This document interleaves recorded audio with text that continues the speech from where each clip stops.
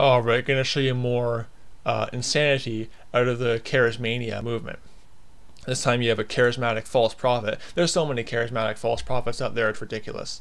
And the charismatic movement needs to be exposed. That's why I spend time on this wicked cult movement known as the charismatic Pentecostal Word of Faith movement.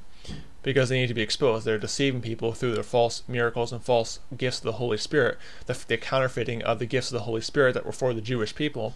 Again, Exodus chapter 4, verses 28 to 30 to 30, Exodus chapter 7, verses 3 to 5, uh, Joel chapter 2 verses 28 to 31 or 32, Joel chapter or sorry Acts chapter 2 verses 16 to 21, 1 Corinthians 1 22, 1 Corinthians 14 22, Matthew chapter 10 verses 5 to 8. Scripture after scripture after scripture shows that the sign gifts were for the Jewish people, but the charismatic cult movement wants to uh, control people like any cult leader would, like any pope would, and fake the gifts of the Holy Spirit, make false prophet prophecies to deceive people and uh, one video I showed, I showed this one uh, Todd White was coming out and denying that gifts of the Holy Spirit or you know miracles can be counterfeited by Satan, and you know because they're trying to validate their false gifts. But this time you have this delusional, charismatic false prophet who is declaring that Trump would return power by June 23rd, and guess what? It didn't come to pass. So he's a false prophet. We're going to show you this. You can't even make this stuff up, but this is the corrupt fruit that comes out of the wicked, charismatic movement. So it says, uh, this is from Protestia, delusional charismatic prophet about to have a reckoning after declaring Trump will return to power by June 20, 23, 23rd. But guess what? It didn't come to pass, and Joe Biden, Jesuit Joe Biden, is still in power. A self-proclaimed prophet who seemingly forgot about forgot the cardinal rule of charismatic uh, cynicery, again, you know, not the best at reading on a computer, uh, to never set a date, has gone ahead and done just about that, declaring that they would be dancing in the streets on account of Trump returning triumphantly to office to the office of presidency by June 23rd. Well, guess what? It didn't come to pass. So, guess what? He's a false prophet. The remark was made by Jeff Jansen, who we featured less than a month ago after being fired from the ministry he founded on account of leaving his wife and family and other, quote, unscriptural and unbiblical behaviors.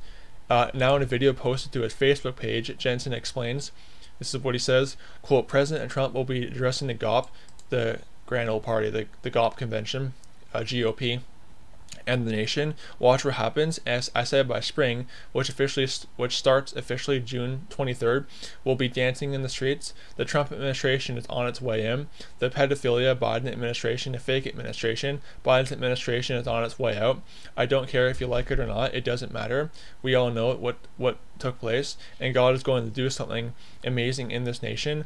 And though this nation and through this nation, it's revival times, it's revolution time. Now, I agree. Joe Biden definitely has some really perverted stuff he does with his granddaughter. I, I do agree with that. You you, could def- most definitely call it the pedophilia administration, but uh, it's a false prophecy. Because guess what? Trump didn't return to office. Jansen is perhaps uh, best known for being a bold speaker in defense of Donald Trump. He falsely prophesied that Trump would re would win re-election, so he's a doubly false prophet, double false prophecies. Uh, and when he didn't, he declared and when he didn't, declared Trump would be recognized in heaven as the legitimate president of the United States, and that God would soon remove Joe Biden from office and reinstate, reinstate Trump with the help of a military coup. Well, guess what? The one happened on January 6th, the Jesuit psyop on January 6th, and nothing happened. The CIA Jesuit psyop. Naturally, his followers have been uh, inundated by his repeated wrong prophecies and, and gutted personal life, commenting on the post.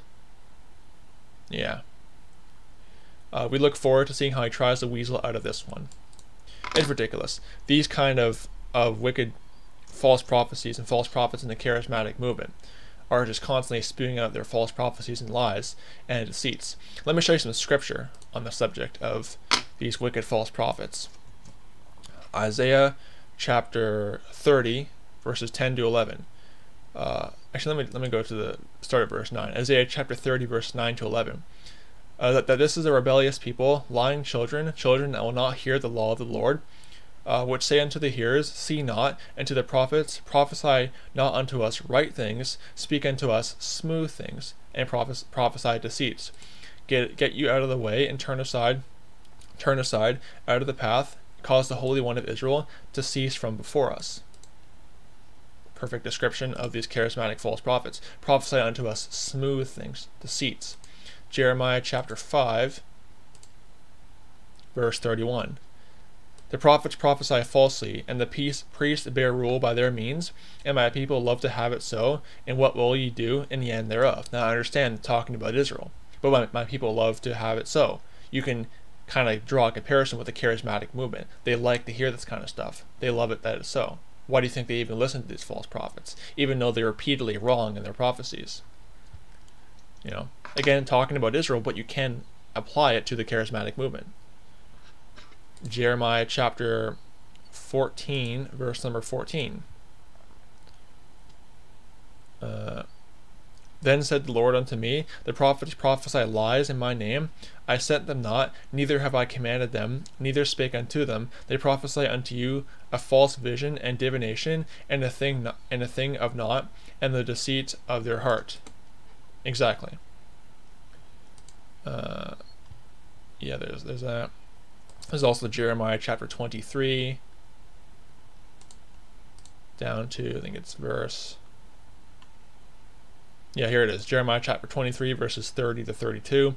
Therefore, behold, I am against the prophets, saith the Lord, that steal my words, every one from his neighbor. Behold, I am against the prophets, saith the Lord, that use their tongues, and say, He saith. A lot of the charismatics out there. Behold, I am against them that prophesy false dreams, saith the Lord, and do tell them, and cause my people to err by their lies and by their lightness. Yet I sent them not, nor commanded them. Therefore they shall not profit this people at all, saith the Lord. That's the bottom line. These charismatic false prophets are not profiting anybody but their own pockets because they get lots of money sent to them. So that's simple. Love of money is the root of all evil. Uh, 1 Timothy chapter 6, verse 10. That's the, that's the corrupt fruit of these wicked, charismatic false prophets. They're, they're prophesying lies and deceit. They're being ruled by their means. They're prophesying not right things, but smooth things to their people. Don't be deceived by this wicked, charismatic movement and these charismatic false prophets out there. May the grace of our Lord Jesus Christ be with all the brethren. Goodbye.